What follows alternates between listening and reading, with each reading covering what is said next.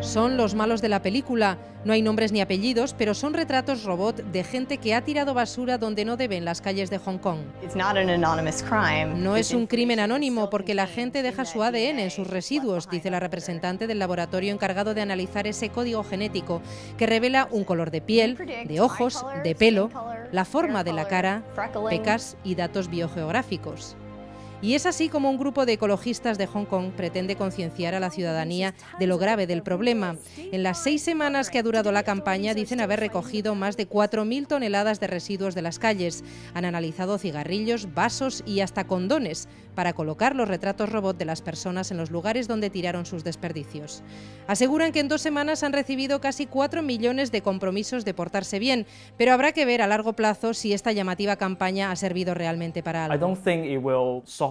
No creo que resuelva el problema, pero podría ser un buen punto de partida para todos los retos pendientes, nos cuenta en Pekín el fundador de una ONG medioambiental.